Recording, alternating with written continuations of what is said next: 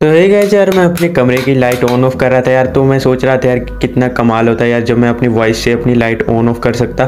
तो गैस मेरे दिमाग में आइडिया है, क्यों ना बड़ी लाइट ना से ही अपने छोटा सा एक मॉड्यूल बना देते हैं। तो गैस आज मैं बनाने वाला हूँ एक वॉइस कंट्रोल रूम लाइट इस मॉड्यूल को बनाने के लिए मैंने यहाँ पे एक माइक सेंसर और एक मॉड्यूल का यूज़ किया है। अगर दोस्तों आप इन्हें बाय करना चाहते हो तो लिंक आपको डिस्क्रिप्शन में मिल जाएगा। तो गैस फटाफट जो अपना मॉड्यूल यहाँ पे बना लेते हैं। तो गैस इस मॉड्यूल का यार आप यूज़ काफ़ी कमाल तरीके से यहाँ पे कर सकते हो। मैं आपको एंड में बताऊँगा यार कितने गजब तरीके से यार ये चलता है। अपनी वॉइस कंट्रोल लाइट थी यार, वो रेडी हो चुकी है। तो मैं आपको करके बता देता हूँ।